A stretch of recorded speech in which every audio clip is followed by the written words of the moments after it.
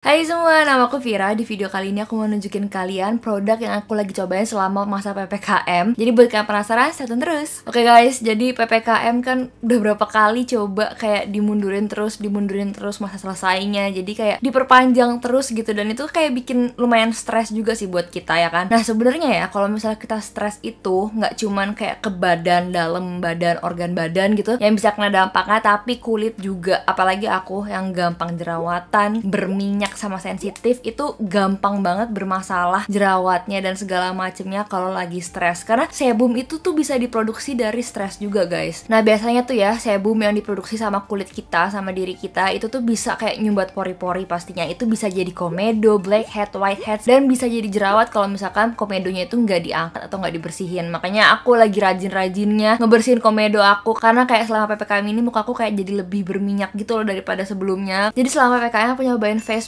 scrub exfoliatingnya MS Glow. Jadi ini tuh keren banget menurut aku. Dia punya teknologi bubble gitu. Kan pasti udah sering lihat deh udah familiar deh sama teknologi bubble. Jadi kan banyak nih kayak face mask face scrub yang udah pakai teknologi bubble yang diaplikasikan ke muka terus ntar dia berubah gitu jadi bubble produknya. Lucu banget gemes banget dan ternyata itu banyak manfaatnya guys. Nanti aku jelasin ya manfaat teknologi bubble tuh apa. Nah jadi pertama ini tuh gunanya apa? Ya seperti namanya dia exfoliating. Dia memang buat ngangkat komedo ngangkat kotoran-kotoran di muka kita. Apalagi kalau misalkan kita orang yang berminyak ya itu banyak banget pasti kotorannya di muka sebum-sebum yang tersumbat gitu. Nah yang aku suka dia tuh mengandung spirulina ekstrak sama centella asiatica ekstrak. Spirulina sendiri tuh banyak banget manfaatnya. Dia buat ngangkat kotoran ngangkat komedo ngangkat blackheads utamanya. Terus habis itu dia juga ngontrol minyak di wajah ngangkat racun-racun yang ada di wajah bakteri-bakteri yang ada di wajah. Terus spirulina juga bantu menyamarkan noda-noda hitam di kulit sama dia juga bantu mencerahkan kulit. Dan yang paling esensial lagi dari spirulina itu dia membantu pembentukan kolagen di kulit kita. Terus buat centella asiatica ekstraknya udah pasti banget. Orang banyak yang udah tahu tahu itu manfaatnya apa. Itu buat menenangkan kulit terus abis itu mengecilkan pori-pori. Apalagi kalau misalnya kita lagi abis di scrub itu mukanya penting banget kalau misalnya ada centella asiatica di dalam kandungan produknya. Karena dia abis kayak membuka pori-pori kita buat dibersihin gitu kan komedonya. Terus abis itu ditutup dikecilkan dengan centella asiatica. Terus dia juga bantu menyembuhkan luka-luka bekas jerawat. Terus abis itu menenangkan kulit yang kemerahan juga yang iritasi juga. Sama bantu menjaga elastisitas kulit. Kalau misalkan heran kenapa banyak banget produk-produk sekarang yang pakai centella asiatica. Karena emang centella asiatica tuh banyak banget manfaatnya buat kulit. Nggak heran kenapa sekarang produk-produk pasti rata-rata mengandung centella asiatica. Nah buat teknologi bubble yang tadi aku ceritain jadi ini produknya begitu aku aplikasin ke kulit ya tunggu kayak sekitar 5 menit lah dia bakal berubah jadi bubble jadi kayak busa gitulah ya pokoknya. Dan itu tuh gunanya apa? Guna bubble adalah biar mengeksfoliasi kulitnya secara halus. Karena sebenarnya exfoliate kulit itu harus hati-hati banget guys. Ada kan exfoliate-nya yang kayak uh, face scrub yang butiran-butiran gede kasar ada juga yang chemical peel. Jadi banyak banget sebenarnya caranya buat nge-exfoliate kulit. Nah kalau misalkan kita nge-face scrubnya kita nge-exfoliate kulitnya pakai face scrub yang butirannya kasar terus kita usap-usap di muka itu cenderung bikin muka kita iritasi. Apalagi buat kalian yang kulitnya sensitif itu bahaya banget sih karena malah bukan ngebersihin kotoran di pori-pori kita tapi malah bikin muka kita malah jadi iritasi dan jadinya berjerawat. Nah itu yang mau dihindarin. Nah kalau misalnya pakai teknologi bubble kayak gini dia kan karena jadi busa produknya. Jadi pas lagi kita exfoliate pas kita lagi usap-usap dia lembut banget, halus banget kayak kerasanya tuh nggak ada produknya gitu. Karena kayak ke sana tuh ngambang gitu kan. Nah teknologi bubble kayak gini tuh mengandung oksigen guys. Jadi kayak bantu menjaga elastisitas kulit pastinya dan bantu mencerahkannya juga. Jadi itu salah satu alasan kenapa teknologi bubble juga banyak yang lagi pakai sekarang. Nah, aku mau ngeliatin ke kalian teksturnya tuh. Jadi dia kayak ya gitu aja tuh liquid biasa. Dia ada sedikit butiran buat nge-scrubnya tapi butirannya bener-bener halus lembut dan dikit banget gitu kayak nggak berasa apa-apa. Tapi nanti pas sudah kering itulah yang jadi kerennya. Jadi ini tinggal diusapin aja guys ke muka kalian. Cepat banget kok dia berubah jadi busanya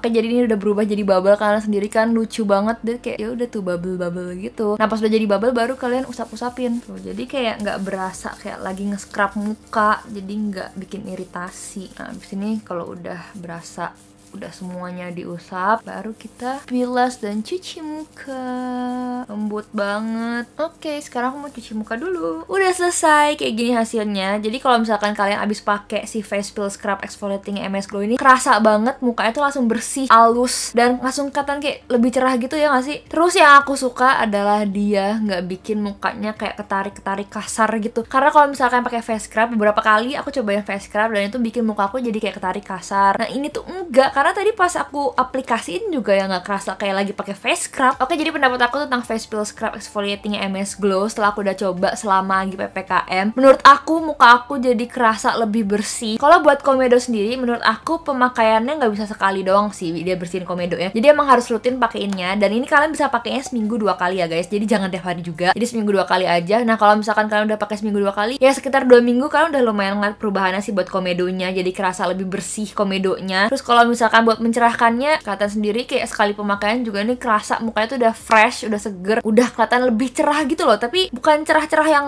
lebay dan kayak mutihin gitu bukan. Lebih ke cerah karena freshnya itu tadi. Tapi kalau misalkan kalian pengen bikin mukanya tuh lebih cerah yang lebih jangka panjang yang lebih kelihatan. Dan uh, bekas jerawatnya pengen hilang juga itu kalian harus pakainya emang rutin ya. Ya sekitar sebulan kalian udah bisa ngeliat perubahannya guys. Jadi menurut aku ini produk worth to try. Nanti kalau misalkan kalian cocok dan kalian suka kalian bisa banget tulis di komen bawah. Karena aku pengen tahu berapa banyak orang yang suka sama produk ini. Berhubung ini produk tuh sebenarnya kayak underrated gitu menurut aku. Nah kalau misalkan udah cuci muka abis scruban jangan lupa skincare kalian harus lengkap ya. Jadi maksudnya kalian jangan lupa pakai face toner kalian jangan lupa pakai serum sama pakai moisturizer. Karena kalau misalkan exfoliate muka biasanya kelembapan yang ada di kulit kita itu kan cenderung keambil kan. Jadi wajib banget pakai skincare yang lengkap abis itu. Nah aku sendiri lagi cobain tonernya MS Glow juga yang deep treatment essence. Ini micro essence dan kandungannya kacau. Ada centella asiatica extra, ada hyaluronic acid, ada ceramide, dan ada cactus extract. Jadi ini gunanya emang buat soothing, hydrating, skin refiner, firming skin barrier. Jadi penting banget sih buat jaga skin barrier supaya skin barrier kita tuh lebih kuat. Apalagi tadi abis di exfoliate dan dia juga bisa bantu menenangkan dan ngasih kelembapan ekstra lagi buat kulit karena udah ada ceramide dan udah ada hyaluronic acidnya. Centella asiatica juga bantu buat menenangkan kulitnya juga. Dia di sini juga ada niacinamide-nya. Niacinamide itu udah kayak ingredients yang wajib ada di setiap produk.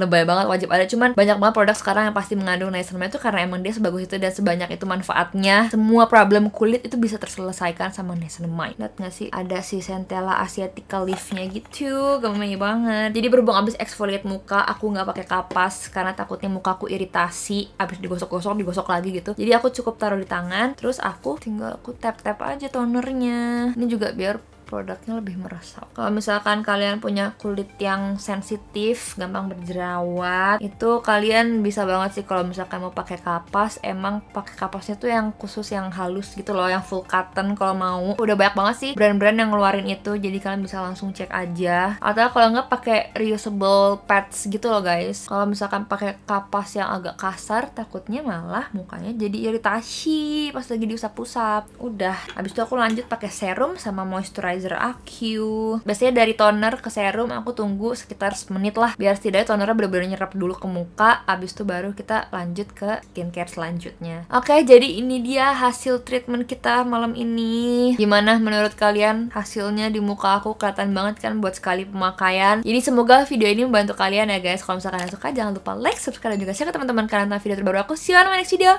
Bye